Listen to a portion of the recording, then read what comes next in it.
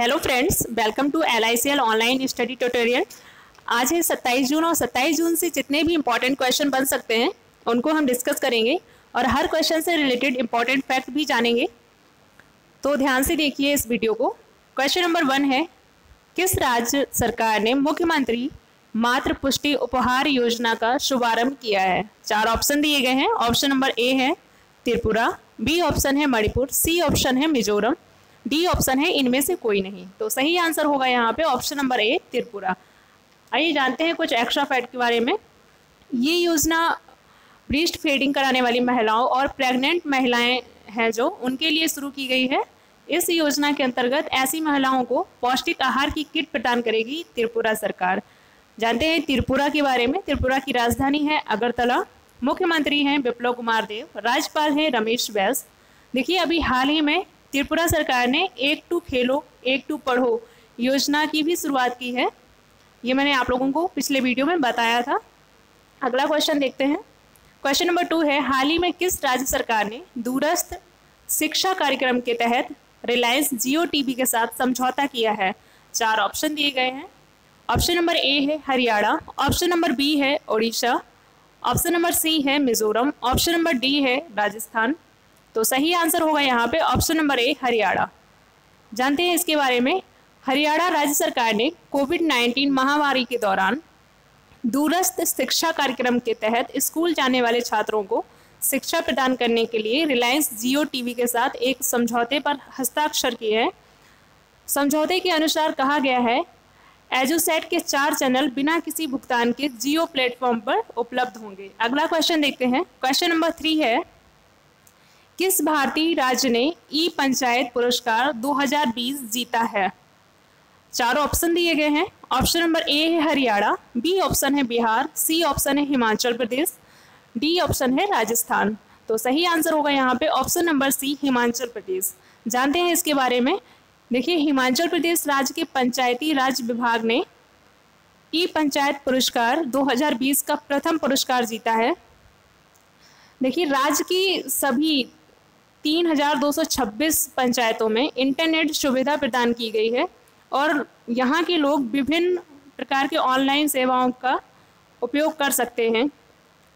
यह जो पुरस्कार है ये केंद्रीय राज्य मंत्रालय द्वारा दिया जाता है एंड इन पंचायतों में परिवार रजिस्टर जन्म एंड मृत्यु एंड विवाह के पंजीकरण जैसी विभिन्न सेवाएँ ऑनलाइन पंजीकृत है। जानते हैं हिमाचल प्रदेश के बारे में हिमाचल प्रदेश की राजधानी है शिमला। मुख्यमंत्री हैं जयराम ठाकुर, राज्यपाल हैं बंडारू दत्ता। अगला क्वेश्चन देखते हैं। क्वेश्चन नंबर फोर है। आईएमएफ ने वित्त वर्ष 2021 में भारत की अर्थव्यवस्था कितने प्रतिशत गिरने का अनुमान लगाया है? तो चार ऑप्शन दिए गए हैं। ऑप्शन नंबर ए है। 4.5 परसेंट बी ऑप्शन है 3.1 परसेंट सी ऑप्शन है 2.9 परसेंट, डी ऑप्शन है इनमें से कोई नहीं। तो सही आंसर होगा ऑप्शन नंबर ए 4.5 परसेंट। जानते हैं इसके बारे में? देखिए आईएमएफ आईएमएफ का फुल फॉर्म होता है इंटरनेशनल मॉनेटरी फंड। हिंदी में कह सकते हैं अंतर्राष्ट्रीय मुद्रा कोष। देखिए आईएमएफ एक अंतर्राष्ट्रीय संस्था है जो अपने सदस्य देशों को या सदस्य देशों की वैश्विक आर्थिक स्थिति पर नज़र रखने का काम करती है। यह अपने सदस्य देशों को आर्थिक और तकनीकी सहायता भी प्रदान करती है। आईएमएफ की स्थापना हुई थी 1945 में। इसके जो मैनेजिंग डायरेक्टर हैं, शॉर्ट में कहेंगे एमडी, वो हैं क्रिस्टलीना जॉर्जीवा। मुख्य आर्थिक सलाहकार हैं गीता गोपीनाथन। ये जो गीता गोपीनाथन है, ये भारतीय मूल से हैं। और आईएमएफ का मुख्यालय है वाशिंगटन डीसी में। अगला क्वेश्चन देखते हैं। क्वेश्चन नंबर फाइव है एफएटीएफ ने किस देश को अपनी ग्रे सूची में बनाए रखने का फैसला किया है? तो चार ऑप्शन दिए गए हैं। ऑप्शन नंबर ए है इराक बी ऑप्शन है ईरान सी ऑप्शन है पाकिस्तान डी ऑप्शन है चीन यहाँ पे सही आंसर बताना है। तो सही आंसर होगा आपका। ऑप्शन नंबर सी पाकिस्तान जानते हैं इसके बारे में? देखिए एफ़ ए टी एफ़ का फुल फॉर्म होता है फाइनेंशियल एक्शन टास्क फोर्स इसकी जो स्थापना हुई थी, वो उन्नीस सौ नवासी में हुई थी। FATF का मुख्यालय है पेरिस। पेरिस जो है, वो फ्रांस की राजधानी है। देखिए, ग्रे सूची में उन देशों को रखा जाता है जो टेरर फंडिंग फंडिंग को रोक पाने में असमर्थ होते हैं। और इसमें पाकिस्तान का नाम रखा गया है। तो जानते हैं पाकिस्तान के बारे में। पाकिस्तान की राजधानी है इस्लामाबाद। पीएम है यहाँ के इमरान खान एंड प्रेसिडेंट हैं आरिफ अलवी। अगला क्वेश्चन देखते हैं। क्वेश्चन नंबर सिक्स है। हाल ही में आत्मनिर्भर उत्तर प्रदेश रोज़गार अभियान का शुभारंभ किसने किया है?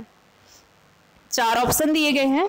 ऑप्शन नंबर ए है, योगी आदित्यनाथ। बी ऑप्शन है नरेंद्र मोदी। सी ऑप्शन है आनंदीबेन पटेल डी ऑप्शन है इनमें से कोई नहीं। तो यहाँ पे सही आंसर बताना है। तो सही आंसर होगा option number B Narendra Modi. जानते हैं कुछ एक्स्ट्रा फैक्ट के बारे में?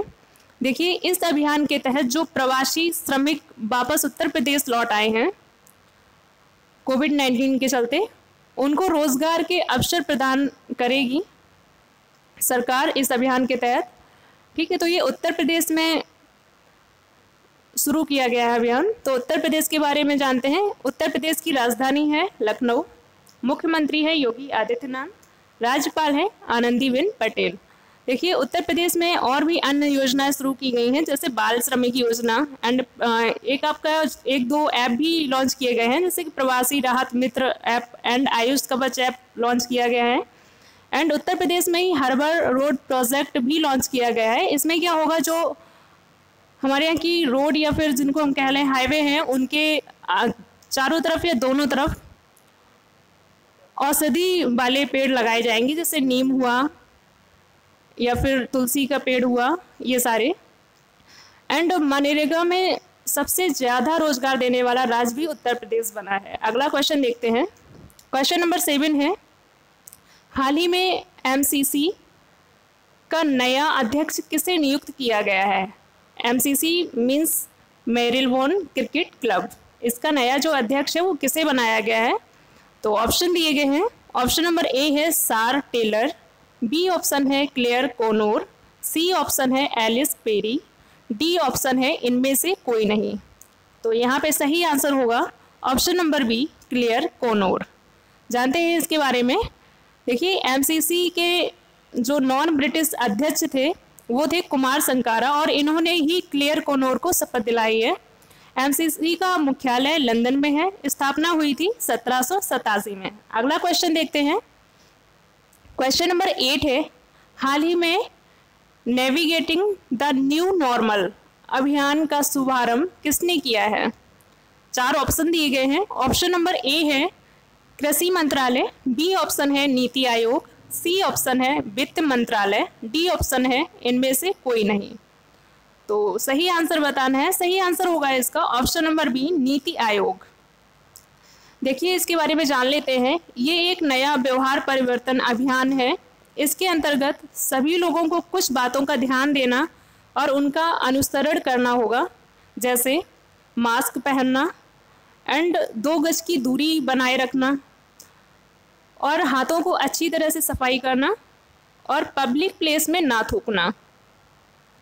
ये चार बातें हैं, इनको फॉलो करना होगा सभी व्यक्तियों को। एंड इसको नीति आयोग ने Bill Gates and Melinda Gates foundation and other foundation के साथ मिलकर शुरू किया है। देखिए, जानते हैं नीति आयोग के बारे में।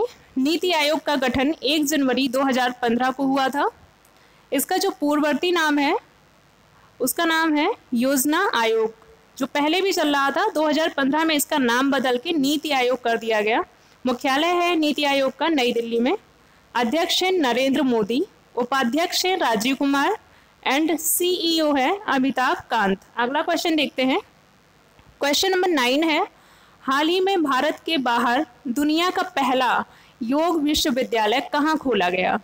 चार ऑप्शन दिए गए हैं। ऑप्शन नंबर ए है अमेरिका में।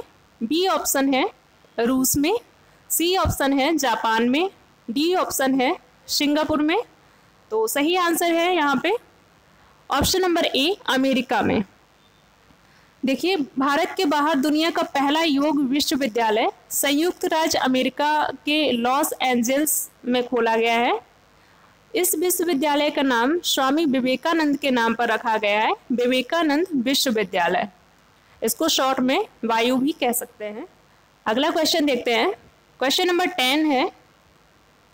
गलवान घाटी की घटना के बाद रूस, भारत और चीन के बीच आयोजित त्रिपक्षीय बैठक में भारत का नेतृत्व किसने किया है?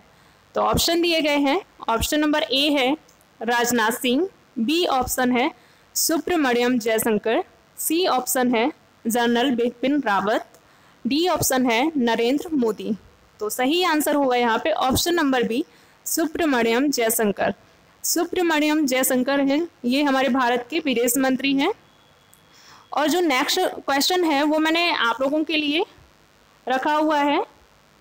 क्वेश्चन है e blood service mobile app किसने लॉन्च किया है? ये मैंने क्वेश्चन आपको पिछले वीडियो में बताया हुआ था सभी को। तो इसका आंसर आप लोगों को कमेंट बॉक्स में कमेंट करके बताना है। अगर आप लोगों ने वीडियो देखा होगा तो इसका आंसर सही ही आएगा। तो ये था आज का हमारा करंट अफेयर का वीडियो। अगर आप लोगों को पसंद आए और उपयोगी साबित हो तो प्लीज़ वीडियो को लाइक करें एंड शेयर करें और हमारे चैनल को सब्सक्राइब करें और बेल आइकन प्रेस करना ना भूलें। Thank you